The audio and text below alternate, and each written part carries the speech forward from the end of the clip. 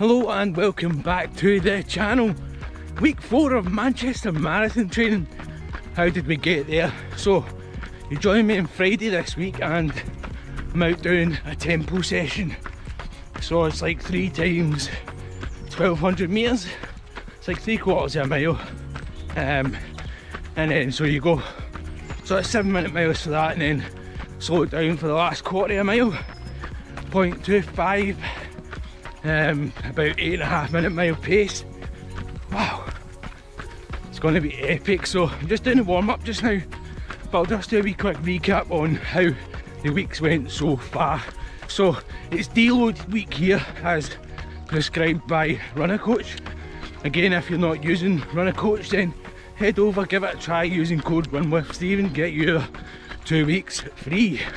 So, deload week. Monday was supposed to be seven and a half miles. I've done six with Grant. Just nice, easy, cruisy miles.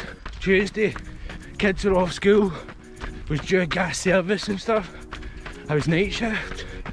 I actually only managed to get my run in at like five o'clock at night, an hour before I went to work. And it was intervals I decided to do. The intervals were really hard. Um, six minute ten per mile, like sort of a pace per rep, and it was four, three, two, one. Again, absolutely solid, but I loved it. See the feeling after it. I wasn't as tired anymore going to work. Wednesday took it as a rest day, and yesterday I got some nice easy miles in on the treadmill as an easy run. Um, but done something really stupid. So I dropped the car off and walked home with little Huntley boy. If you've seen the reels, you'll see him. What a wee trooper he is. But I ended up doing like three mile walk yesterday. And you know, I can actually feel it in my legs today. They're quite tight from that walk. Which was really surprising. I was very, very surprised about how they felt. So, aye, that has been my week so far. Again, just trying to fit these sessions in when I can because life does get in the road and you'll be happy to know that I feel much better this week. So, so weird. I couldn't believe last week how ironic it was telling you guys like how can you have one bad week and one good week and it was an absolute shocker there. If you haven't seen that video then I'll just post a wee link above and you can check last week's training run out on there.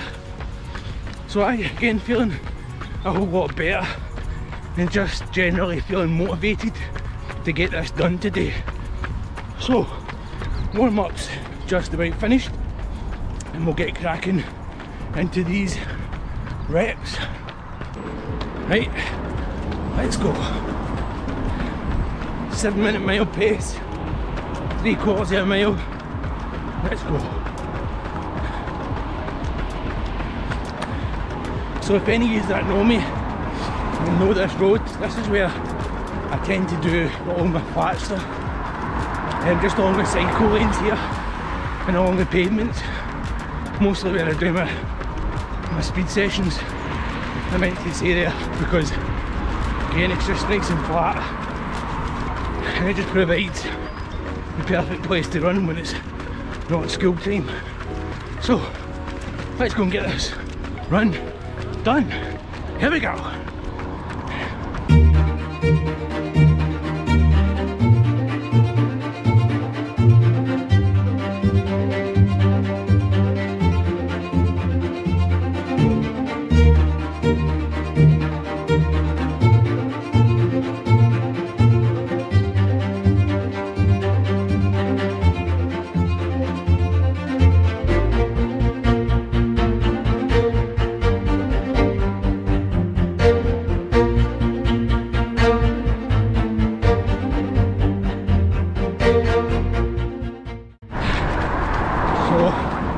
On the easy quarter of a mile so that's two 1200s done. With an easy 400 you could say after each 1200 so oh, I'm definitely overdressed for the occasion. Um, um, whew, this last one is going to be hard work. And then we go into quarter of a mile. Easy again 400s and then one kilometre cool down so I'll get this next rep done and then I'll catch up with you just shortly after that and the cool down kilometre let's go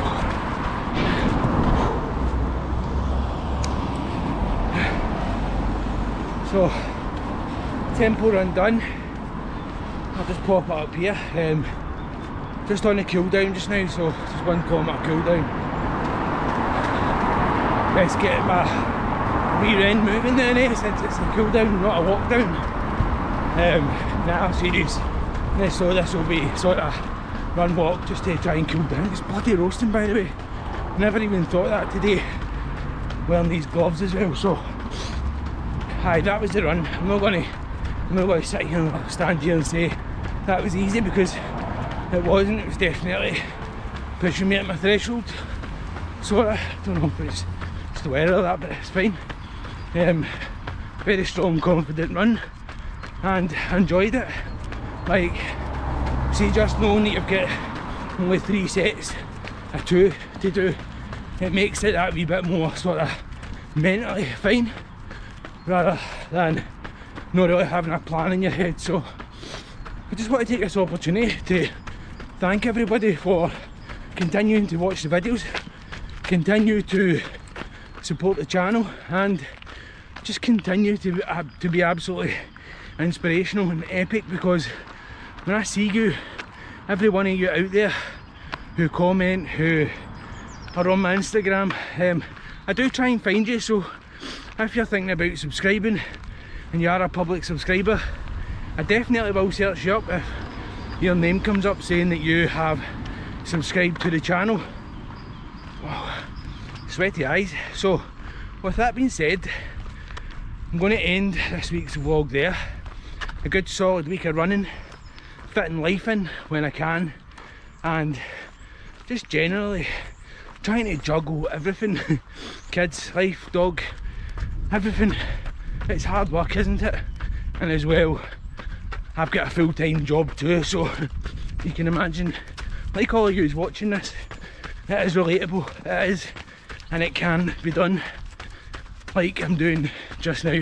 So thanks again everybody for tuning in and I'll see you in week five. Oh my god. There's only like seven weeks to the Manchester Marathon. Ah! How did that even happen?